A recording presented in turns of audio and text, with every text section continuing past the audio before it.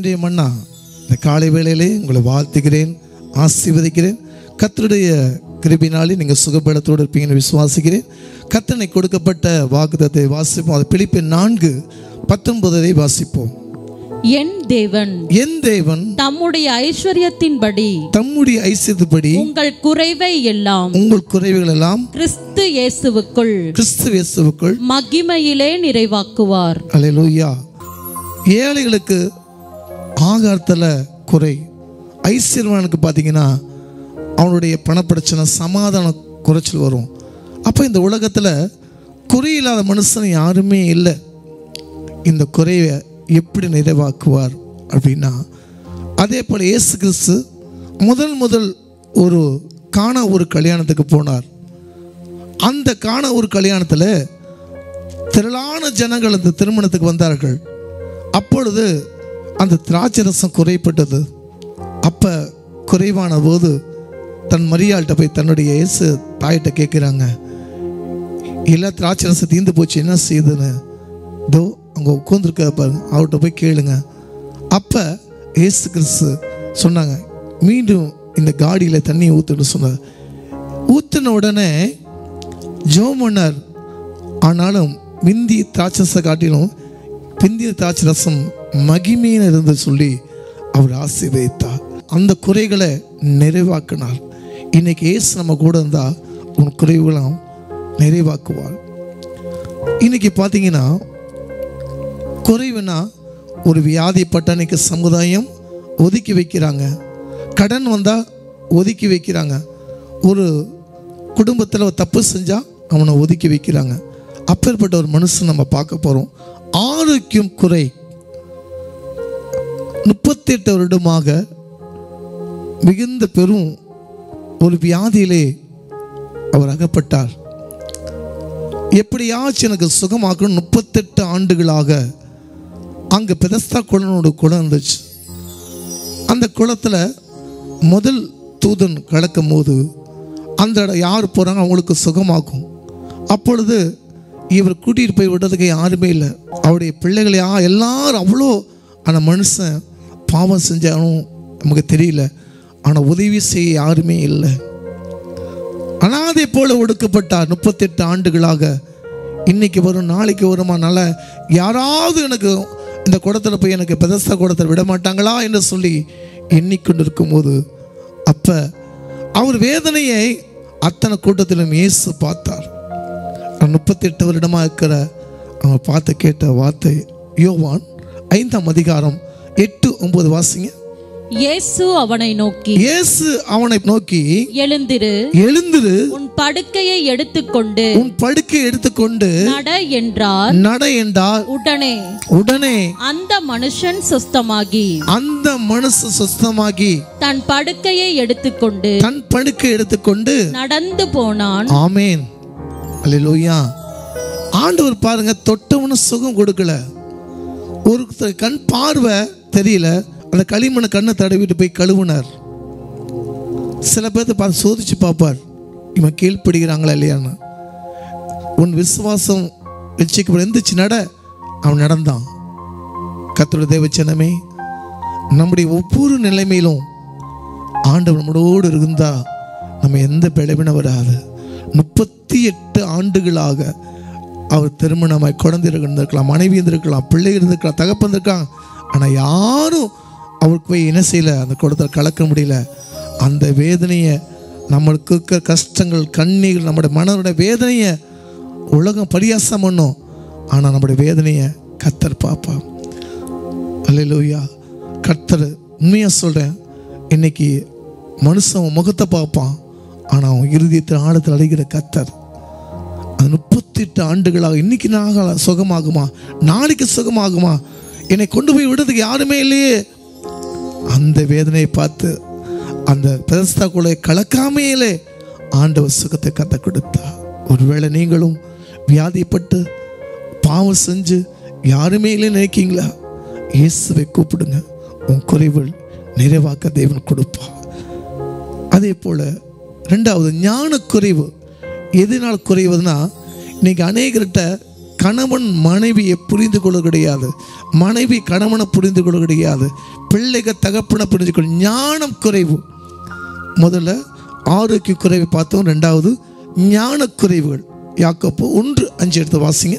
உங்களில் உங்களில் ஒருவன் ஞானத்தில் குறைவுள்ளவனாயிருந்தால் இருந்தால் யாவருக்கும் சம்பூர்ணமாய் கொடுக்கிறவரும் சம்பூர்ணமாக கொடுக்கிறவனும் ஒருவரையும் ஒருவரையும் கடிந்து கொள்ளாதவரும் ஆகிய கடிந்து கொள்ளாத மழையாகிய தேவனிடத்தில் கேட்க கடவன் தேவனிடத்தில் கேட்க கடவன் அப்பொழுது அப்பொழுது அவனுக்கு கொடுக்கப்படும். அல்லேலூயா.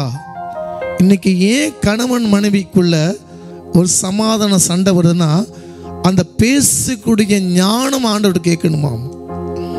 சாலமன் ஞானத்தை கேட்டார். இன்னைக்கு எதெல்லாம் நம்ம பேசுறது ஞானம் இல்லாமல் தான் இன்னைக்கு குடும்பத்தை நடத்துகிறோம் நீ கணவன் மனைவியா நம்ம இவ்வளோ பட்ஜெட்டு போட்டு நம்ம செய்யணும். அந்த ஞானத்தை கற்றுக்கிடும் என் கணவன்கிட்ட நான் எப்படி பேசணும்? என் மனைவிட்ட எப்படி பேசணும்? என் வேலையில் எப்படி பேசணும்? அந்த ஞானம் உலக ஞானம் நம்மளுக்கு பத்தாதுங்க. ஆவிக்குரிய ஞானத்தை கத்த பெற்றுக்கொள்ளணும்.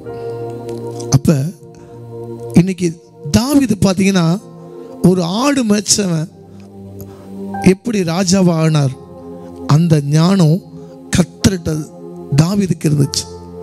இந்த கோலியாத்தை இப்படி அடித்தா அவன் விழுவான். அப்போ தேவன் தாழ்மை உன்னோட கிருபி அளிக்கிறார். அந்த மகன் தாவிது ஒரு சின்ன பையனாக இருந்தால் கூட அவ்வளோ பெரிய பிளிஸ்தருடைய கோலியாத்தை வெல்லக்கூடிய கிருபை அந்த ஞானம் வந்துச்சு. ஏன் இஸ்ரவேல ஜனங்களை இந்த மகனை நம்பி கொடுக்கக்கூடாத அந்த தேவன் ஒரு ஆடு மேய்ச்சவனை ராஜாவாக தேவன் அபிஷேகம் பண்ணினார்.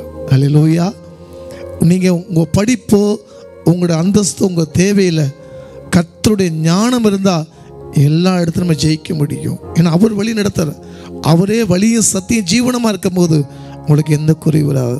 மூணாவது காரியம் ஆசீர்வாதம் குறைவு.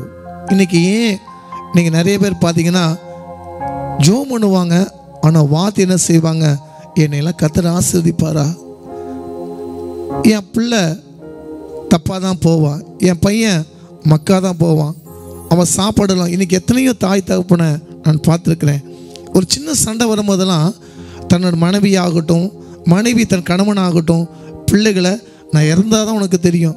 நான் ஒன்றும் அனாதையாக போயிடுவேன் இது சொல்லி சொல்லி மரணமும் ஜீவன் நாமுடைய அதிகாரத்தில் வேதம் சொல்கிறது நல்ல வார்த்தையை விசுவாசமாக இருக்க செய்யுங்க. ஒரு கிறிஸ்தவனுடைய அபிஷேகம் எங்கே இருக்குன்னா கிருதித்துக்குள்ளே கத்திருக்கிறார் ஆனால் நாவில் பரிசுத்தமான அபிஷேகமான வார்த்தை பேசப்படணுமாமா?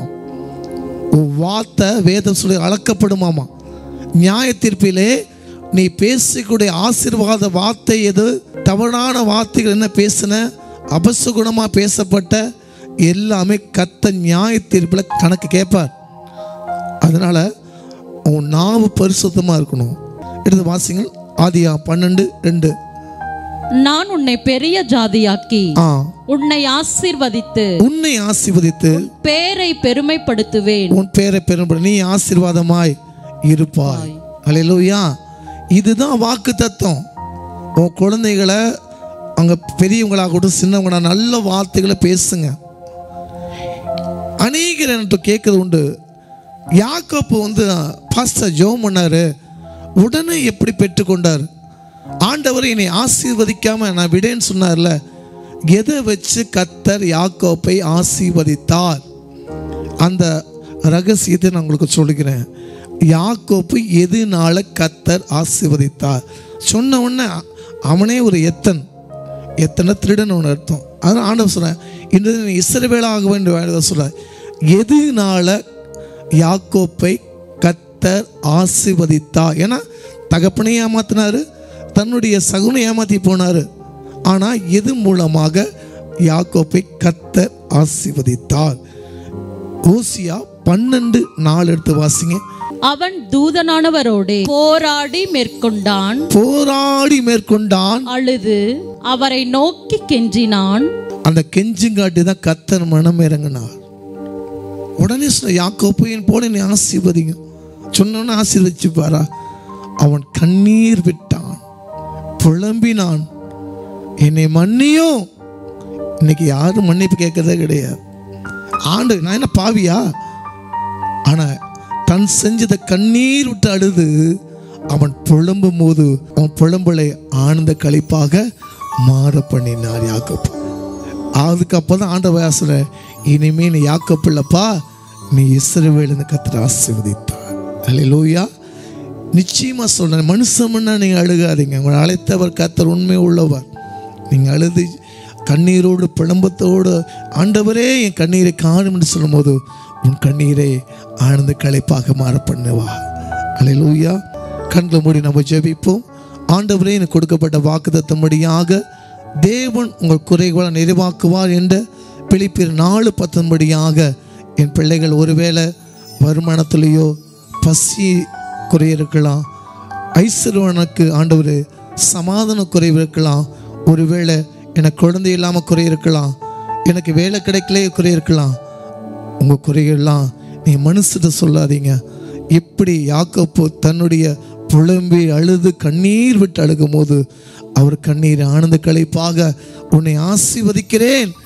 உன்னை உலகமே உன்னை திருடன் சொன்னாலும் உன்னை இசைவேல் என்று சொல்லி நான் ஆசீர்வதிக்கன்னு சொல்லி கத்தர் உருவுதான் உங்களை மன்னிக்கிற கத்தரா இருக்கிறார். அவரை போல நல்ல தெய்வம் உங்களை உலகத்தில் பார்க்க முடியாது.